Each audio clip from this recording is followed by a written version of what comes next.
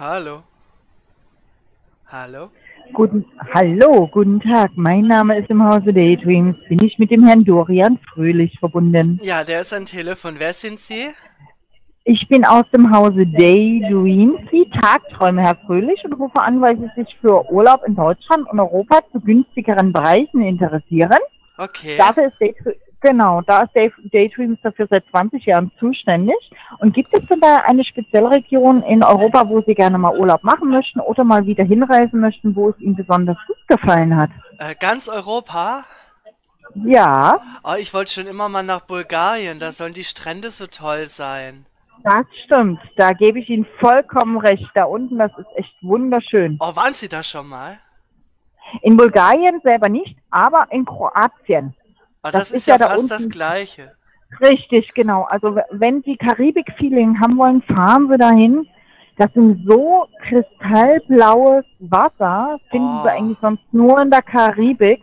Ich bin letztes Jahr erst auf der Insel Rab gewesen in Kroatien und ich war in der Kristallbucht und der Name ist Programm. Oh, das ist ja toll. Ja, na, man sieht auch mal wieder wirklich die Fische, na, man sieht das Leben im Wasser. Ach, das ist mir Kultur ja ist- egal. Ich will ja nur Ja. schlafen. Ja, genau. Also das äh, könnte man hier äh, mitmachen. Und äh, gibt es noch was anderes außer Bulgarien, wo Sie sagen, dass Sie mal hinwollen? Was ist die Schottland, Irland, Spanien, die Inseln, Sizilien, so Italien? Ist Schottland nicht aus Europa ausgetreten? War da nicht was? Ähm, wir reden vom Geografischen, nicht von der EU. Das ist ein Unterschied. Ach so, also kann man da noch Ja. hin? Ja, natürlich. Weil das ist ja, Das da ist ist ja ja- auch so, die Landschaft ist da ja so geil. Ja, Und die, und die Richtig. ganzen Typen mit den Röcken. richtig mit den Kills. Das ist richtig. Ja, das wäre auch, Genau. das ist gut, dass Sie das sagen. Da hätte ich ja, Ja. auch drauf kommen können. So starke, Genau. starke Männer mit Röcken sind toll. Das stimmt. Ich finde das auch toll. Das ist eine tolle Kultur. Die sind äh, lebensfroh und man kann auf jeden Fall eine Menge lernen. Und die Landschaft, wie Sie schon sagen, ist atemberaubend. Ne? Sind die lebensfroh? Ich habe immer gehört, dass die Schotten so griesgrämig sein sollen. Mm -mm, Vielleicht ist das ja, nein. weil es denen unterm Röckchen so zieht. Mag sein, aber es ist wirklich ein, ein ähm, angenehmes Volk. Ja. Und ich sag mal, ähm, selbst die Benelux-Staaten sind auch wunderschön. Was ist das denn? Benelux, na Luxemburg, Belgien, Niederlande. Das Ach ist ja die so. Abkürzung, die Benelux-Staaten, genau. Nee, dann doch lieber Schottland. Oder tragen die da Ja. auch Röcke in Benelux? Nee, also der, die Kills stammen wirklich nur äh, aus Schottland. Die werden nur dort getragen. Stimmt das, dass die da nichts drunter tragen? Das ist richtig. Oh, cool. Mhm. Finde ich, find ich gut. Darf man das als Fremder da auch tragen oder dürfen das nur Einheimische machen?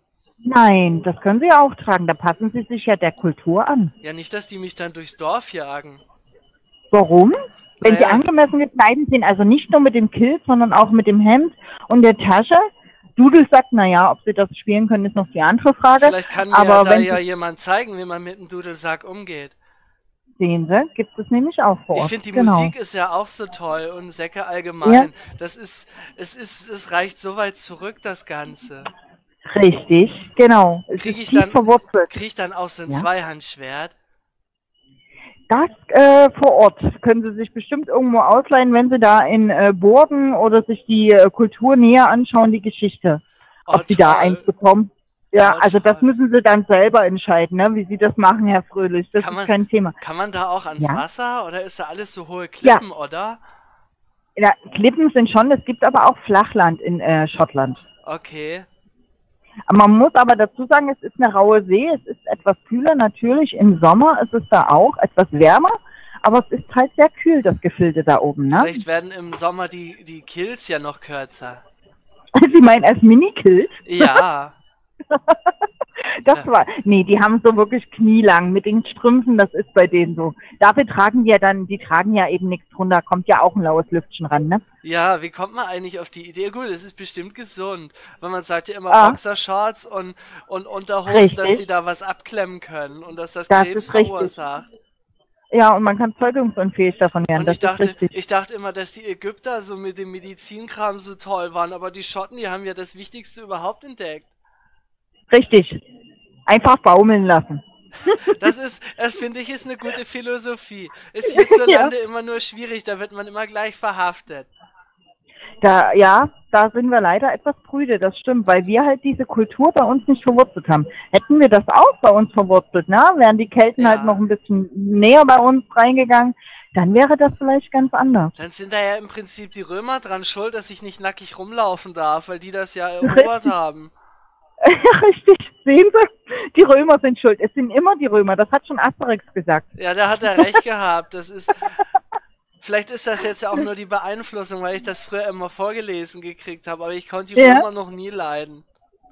Ja, war ein eigenwilliges Volk. Aber auf der anderen Aber Seite, die die, hatten Römer ja auch sowas wie Röcke, die hatten so tolle Kleider. Das waren die Togas, genau. Richtig. Genau. Und die, Rö die Ja. Römer haben ja auch eine Menge erfunden, das Äquadukt. Ohne die Äquadukte hätten wir keine Wasserleitung heutzutage, ne? Das ist wohl richtig. Mhm. So hat Und das alles Vor- und. Nachteile. Richtig, genau. Ne? Es wiegt sich alles auf. Ja, das Kolosseum in Rom zum Beispiel ist ja auch wunderschön, ne? Das ist auch eine tolle Erfindung. Da sind so viel zigtausend Leute drin gestorben. Ich finde das toll. Das finden Sie toll? Nein, das war ironisch. Okay. Nein, ich meine, sie ähm, sagen, wertvolle halt, Erfindung und dann kommt das Kolosseum. Komm, wir lassen ein paar Leute von Tigern zerfetzen. Macht nein, Spaß. nein, nein, Herr Fröhlich, ich meine das Gebäude an sich, die Ach so. Architektur. Ja, nicht, was da toll. passiert ist. Genau, ne, für die damalige Zeit. Ist Ja, wie bei den Ägyptern, ne, wer konnte die Pyramiden hochziehen? Ja, die armen Sklaven. Ja, und die sind ja dann aber Gott sei Dank übers Meer und sind ja dann herübergekommen und damit wurde das Judentum gegründet. Ja, bis auf die, die sie eingemauert haben in der Pyramide. Ja, Die das ist versuchen halt ja so, heute ne? noch rauszukommen, aber hat ja noch keiner den Eingang gefunden.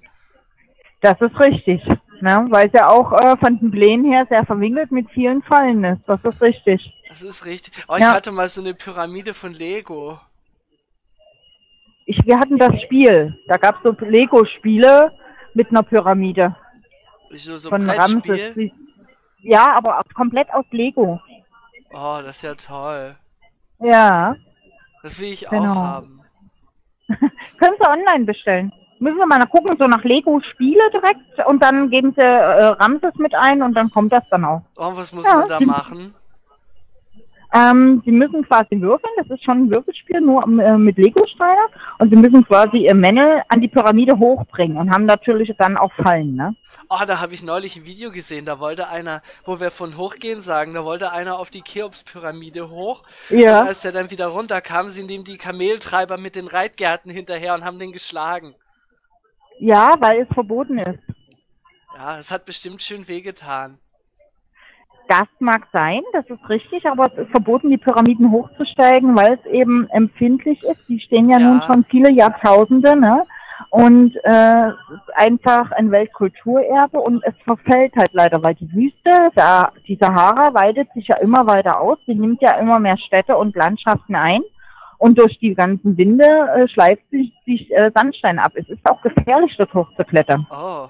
Aber wenn man dann Hm. hinterher mit der Reitgerte geschlagen wird, lohnt sich das ja. Kommt drauf auf die Reitpferde an, ne? Richtig. Was haben Sie denn da für bevorzugte Modelle? Ähm, an sich in der Hinsicht keine. Ich habe andere Vorzüge, wie zum Beispiel Liebesschaukeln in die Richtung. Oh, das ist toll. Sowas habe ich mir Ja. auch schon mal überlegt. Taugt das was? Das taugt was. Allerdings müssen Sie da mindestens in die Decke ein ähm, 16 Millimeter Loch bohren mit einem Haken, der mindestens äh, 80 Kilo oder 100 Kilo aushält. Sonst klatschen Sie mit der Schaukel nach unten. Also da muss man schon richtig eine Verankerung auch in der Decke schaffen. Ah, ich glaube, das wird nix. Wir haben hier so dämliche Hohlraumdecken. Wir haben schon Hohlraum, Ja. Hohlraumdübel schon gebraucht für die scheiß Äh, Lampe. Ja, nee, dann bringt das leider nichts. Wir haben halt Ah. Stahlbeton bei uns, von daher geht das dann, ja. Oh Mann, da muss ich irgendwann will ich sowieso mal umziehen. Da wird das das Hauptkriterium. Sehen Sie Und ich starke will einen Decken. Pool im Keller. Ein Pool im Keller. Das ist Ja, natürlich auch nicht schlecht. weil muss aber auch ist immer so dreckig und Ja. teuer. Ja, das stimmt allerdings. Das stimmt. Aber Pool im Keller müssen Sie auch aufpassen, dass alles gut isoliert ist und gelüftet, Sie lüften können, dass Sie dann keinen Schimmel haben, weil das wäre dann auch wieder doof. Ja, dafür gibt's ja Firmen. Ich kann sowas ja nicht. Ja, das ist richtig. Das sollte man immer alles halt so bedenken, ne? Das dass man das richtig. dann auch regelmäßig, ne? Genau. Sonst klappt das ja. Da hat man ja nicht lange was von. Richtig, ne? Und hat dann im Nachhinein so viele Kosten, wo man sich eigentlich sagt, okay, dann hätte ich mir die Sache auch sparen können. Na, das muss man halt alles bedenken. Aber Pool im Keller ist was Tolles, ja. Ja, aber Am vielleicht besten klappt das ja. Ja, vielleicht noch so mit einer Mosaikdecke oder so, wo irgendwas drinnen noch schön verarbeitet ist oder so. Das ist auch nicht schlecht, Ich ja? würde ja sagen, wir könnten, oder man könnte das im, im, die Römer haben ja auch so tolle Bäder gehabt. Aber wegen den Richtig. Römern darf ich ja nicht nackt rumlaufen, also werde ich das nicht im römischen Stil halten. Oh, ich ja, ist, ich stelle mir dann Schotten hin. ja, sehen Sie, die nebenbei Dudelsack plagen. Super. Richtig. Das kann man jetzt zweideutig verstehen. Ich weiß. Wann Die haben ja aber auch gedacht? noch, ja, Gut. die Wir haben ja auch noch uns. die lang, ja, die haben ja auch noch die Langhörner. Kennen Sie die? Ja, die sind ja kenn über ich. 15 Zwar Meter lang, genau. Also waren das Die nicht, waren das auch. nicht die, die Schweizer mit ihren Alphörnern? Das ist eine Alphund. Es gibt aber noch das Langhorn. Das kommt aus Schottland. Ist das so?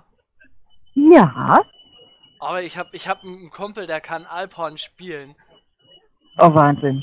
Ja, das ist, Da braucht er aber eine ganz schöne Puste, oder? äh, ja, das ist Wahnsinn. Der übt auch immer. Wahnsinn. Also ich glaube, unser eins, wer da reinpusten würde, da würde nicht mal ein Piep rauskommen, oder? Nee, das Haben Sie ja, das mal probiert? Nee, das, ich habe dazu Angst vor, die sind mir zu groß. Mehr als reinpusten und unten hören, ob was rauskommt, kann auch nicht passieren. Nee, wer weiß, vielleicht sitzen da Frösche drin.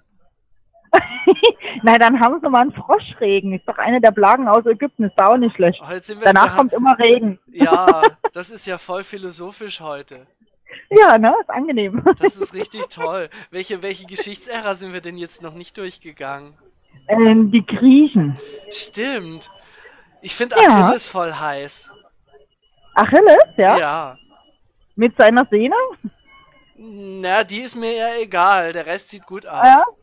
Ja, das Und das Gute ist, wenn, allerdings. wenn, wenn, äh, wenn, wie hieß er denn nochmal, der ihm die Sehne kaputt geschossen hat? Oh, ich komme jetzt nicht drauf. Ähm, irgendwas mit O. Moment. Paris, Paris, der Prinz von Paris, Troja. ja. Das ist ja, Stimmt. weißt du, wenn der dem die Sehne weggeschossen hat, da kann der nicht mehr von mir weglaufen. Sehen Sie, da ist so ein leichtes Ziel. Das stimmt allerdings. Das ist richtig, dann mache ich den richtig fertig. Ja, aber überlegen Sie mal, ne? Achillessehne, daher kommt das alles. Ist bis heute übernommen worden, ne? Weil das meiste von der äh, Medizin kommt ja aus dem Griechischen. Richtig, die waren da ja ganz schick, Mhm. die Jungs. Richtig, genau, genau. Die haben auch eine Menge erfunden, was heute mit übernommen wurde, was viele gar nicht wissen oder einfach äh, als selbstverständlich hinnehmen, anstatt mal drüber nachzudenken, wo kommt denn eigentlich alles her? Wo hat es denn seinen Ursprung? Ja, wo andere sich noch die Füße abgehackt und sich Blutegel ins Auge gedrückt haben, haben Richtig, die schon genau. operieren können. Richtig, genau, genau, ne? Das stimmt. Obwohl Blutegel ja heute teilweise auch noch eingesetzt werden, ne? Das wird so ziemlich alles heute noch eingesetzt. Die Frage Mhm, ist halt, ob das sinnvoll ist. Ja, ich sag mal, außer Fuß abhacken, ne? Und ähm, steinigen, das wurde so ein bisschen abgeschafft. Ja, Außer in teilweise. gewissen Kulturen, ja, genau, in gewissen Kulturen wird das Steinigen auch noch gemacht, das Und das stimmt. Hände abhacken Früher war's- auch. Ja, das stimmt. Im Christentum war das ja auch eine Zeit lang noch und äh, das haben sie ja dann äh, Gott sei Dank auch abgeschafft. Und das wird ja jetzt bloß noch im Islam äh, gemacht.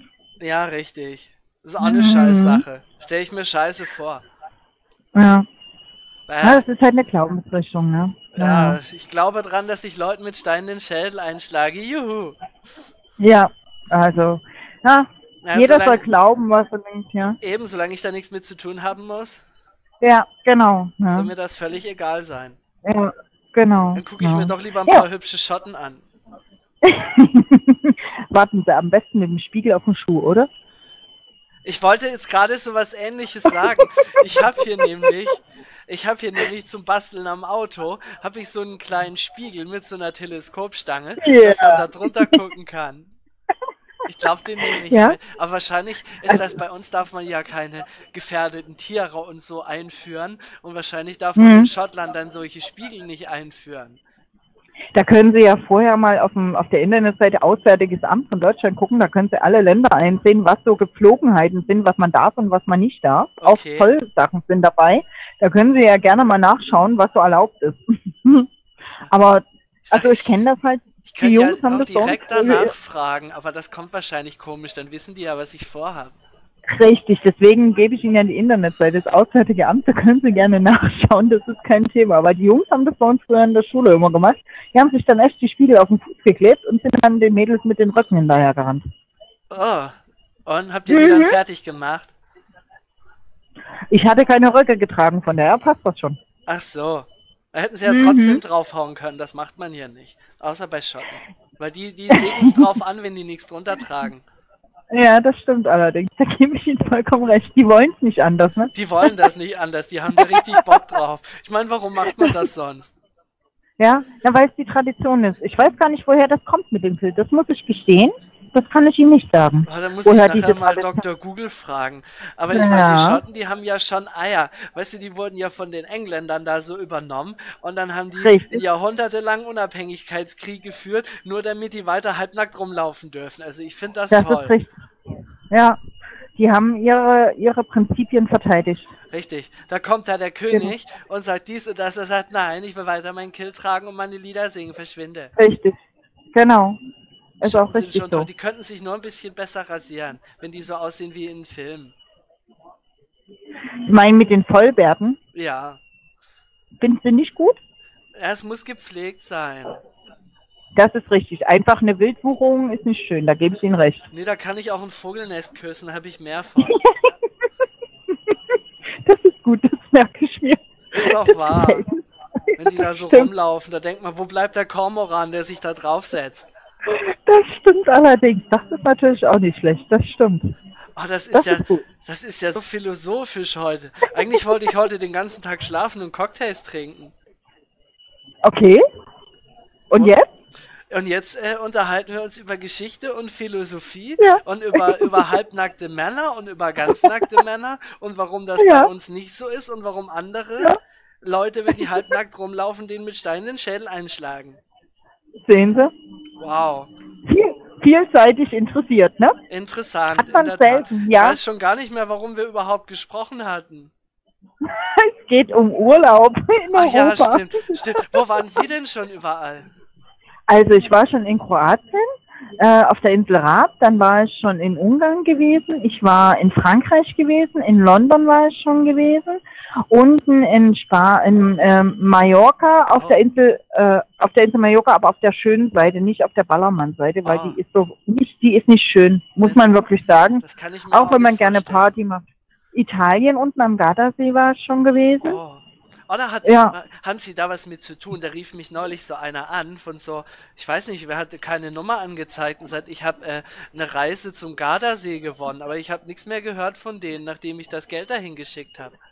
Ah nee, oder? Doch. Ich konnte mir das Ah. aussuchen, zum pa nach Paris oder zum Gardasee. Okay, war da noch irgendwas hinten dran, Herr Fröhlich? Eine Zeitung oder Lotto? Ja, der hat gesagt, ich, äh, ich muss, äh, also ich habe die Reise gewonnen für was weiß ich wie viel tausend Euro. Und dann hat er gesagt, man muss da aber Gewinnsteuern bezahlen, weil das ja, weil man das ja Was? gewonnen hat. Und das damit man das, äh, Mhm. damit man die halt nicht bezahlen muss, die sind klug, die haben das sich gut überlegt, kriegt man eine Zeitung. Aber die habe ich auch noch nicht gekriegt. Ähm, Herr Fröhlich, eine Frage. Haben Sie ja da Ihre Bankverbindung durchgegeben? Ich glaube schon. Ähm, haben Sie da schon eine Abbuchung gehabt auf, dem, auf Ihrem Konto? Äh, ich habe noch nicht drauf geguckt.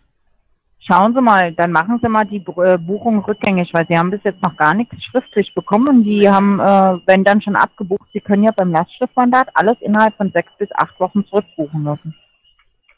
Also dann kriege ich ja die Reise nicht. Naja, aber es gibt auch keine Gewinnsteuer für solche Reisen, Herr Fröhlich. Das Gibt stimmt überhaupt nicht. Nein. Und ich sag mal, wenn Sie was gewonnen haben, warum sollen Sie denn dafür dann noch was bezahlen? Oder eine ich nicht. Zeitung? Ich muss, ich muss ja auch Rundfunkgebühren bezahlen, obwohl ich den Scheiß gar nicht angucke. das ist leider gesetzlich verankert, da haben wir. Nee, es ist nicht gesetzlich verankert, das stimmt nicht, ja, das müssen wir leider alle, das ist richtig. Aber ich sag mal, wenn Sie was gewonnen haben, warum sollen Sie denn dafür dann irgendwas bezahlen? Entweder hat man die Möglichkeit, Ihnen vergünstigt Urlaub anzubieten, Ja. oder Sie haben was gewonnen. Das ist der Unterschied. Ach so, weil ich dachte, man muss ja auch bezahlen, wenn man was erbt, oder? Das ist die Erbschaftssteuer. Das ist wieder was ganz anderes. Okay. Und da hängt es auch davon ab, äh, wie hoch die Erbschaftsmasse ist und ob es noch aufgeteilt wird unter Geschwistern oder wie das Testament verankert ist. Das ist was ganz anderes. Ach, Sie haben Ahnung von so vielen Sachen, das beeindruckt mich. Dankeschön. Wie kommt das, dass Sie im Callcenter sitzen? Sie müssten irgendwo im, Man im Büro sein und alles managen. Vielen Dank, Herr Fröhlich. Es kommt daher, dass ich einen Meniskusschaden habe und ich meinen alten Beruf nicht mehr ausüben kann. Oh, Und ähm, ja, eigentlich bin ich ähm, gelernte Fischfachverkäuferin. oh, cool. Mhm. Das ist so mein Leben und ich bin halt auch sehr vielseitig wissbegierig. Schon seit ich zehn Jahre alt bin, interessiere ich mich für die Geschichte von Ägypten. Dann kamen die Griechen dazu, Oh, ja. Inkas, Mayas, Atlantis, solche Sachen. Ja, Oh, das ist so toll. Ja. ja. Aber komm, Ja. verwahrlost man da nicht emotional und vom Kopf her in so einem Laden? Nein. Nein. Wie gesagt, ich weiß, was Daydreams ist. Das macht Spaß, das ist toll. Und ähm, ich habe ja noch meinen Ausgleich. Ich interessiere mich ja auch noch für die japanischen Sachen. Ich liebe Animes und Mangas. Oh, ich habe einen Katana. Ah, okay. Na, kein Okay, echtes, aber oh. das ist trotzdem toll. Ich, ja, okay. Und schauen Sie auch Animes, Mangas? So, Nee, das ist dafür gar nicht mein? Ding. Ich mag eher so die, Hm? die Realfilme mit Samurai-Kram Okay. und sowas, weil die haben auch so hübsche Sachen Ja. auf Pink und so. Das stimmt, ja, das stimmt, ja. Und ich mag halt das Gezeichnete, weil es halt wirklich noch Kunst ist, weil es halt Handarbeit noch ist, ne? Es ist handgezeichnet Das stimmt. und na, und da es wird halt auch so viel übermittelt, was halt ähm, heutzutage selbst Realfilme teilweise nicht schaffen, weil es einfach nur Schund ist, was heutzutage noch an Filme produziert wird. Es gibt selten noch gute Filme. Ja, Kino ist ja auch teuer geworden, das kommt ja noch dazu, ne? da gibt's ja gute Alternativen. Zwinker, zwinker. Das richtig. Inzwischen Zwinker, Zwinker nicht mehr ganz so Zwinker, Zwinker, aber ja, Amazon etc., genau, ne? Nee, davon Das rede ich gar nicht. Ich wollte da noch einen Ich Zwinker weiß. mehr hintersetzen. Ja, ja, ich weiß, was Sie meinen. Zwinker, Sehr Zwinker. Auch mal gucken, Genau. mal gucken, wer zuerst von uns die Hausdurchsuchung jetzt kriegt. Vielleicht ist da ein Ja, schottischer aber- Polizist dabei. Tja, wenn der Mac irgendwas heißt, dann wäre das vielleicht möglich. Oh, das wäre toll. Ja. Aber wir wollen es ja mal Nee, nicht aber- drauf anlegen. Die haben zwar Ja. auch Handschellen, aber es ist nicht ganz so schön. Ja, naja, wenn sie ein bisschen Plüsch rummachen, ist ja, geht's ja immer. Ich glaube nicht, dass die das machen. Ja, na, dann müssen sie vielleicht den Plüsch gleich parat haben und sagen, gerne, wenn wir den Plüsch drumherum machen. Oh, dann zeigen die mich noch an wegen Belästigung. Warum? Na, wenn ich sage, hier, Die fessel mich, fessel mich mit der Plüschhandschelle, du Luder. Aber es ist ja angenehmer, bekommen sie ja keine Striemen dann an der Arm, an der Armgelenke, ne? Wer sagt denn, dass ich das nicht will? Das ist die andere Frage. Na, dann brauchen sie auch keine Schoner. In der Tat. Das ist situationsbedingt. Richtig, genau. Ne? Schön, Nee, dass wir aber- uns da einig sind. Ja. nee, aber ich sag mal, ich verwahrlose hier nicht. Es ist abwechslungsreich, ich habe nette Kollegen, es ist eine tolle Firma und ähm, es macht auch Spaß, da eben mit Leuten auch ins Gespräch zu kommen. Ne? Ja. Aber schon. Und ab und an kann ich, ja, ja? bitte. ich sag mal, ab und an habe ich dann noch jemanden, der fischbegeistert ist, mit dem kann ich mich dann auch noch über Fische unterhalten. Das ist ja toll. Und, haben Sie ähm, bestimmt ein Aquarium.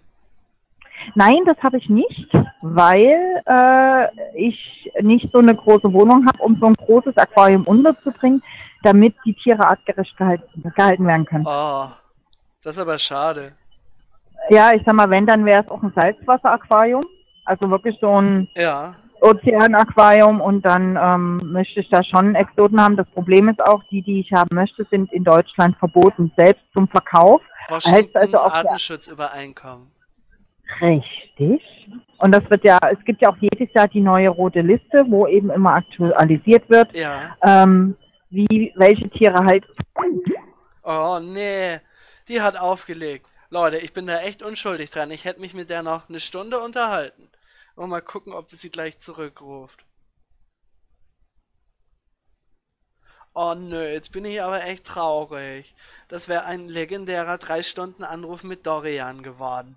Lasst mich mal hören, was ihr von Dorian so haltet. Der wird sich natürlich noch weiterentwickeln und da kommt noch was. Aber die Frage ist halt, was dann noch kommt. Immerhin hatten wir heute schon mal nackte Schotten, halbnackte Römer.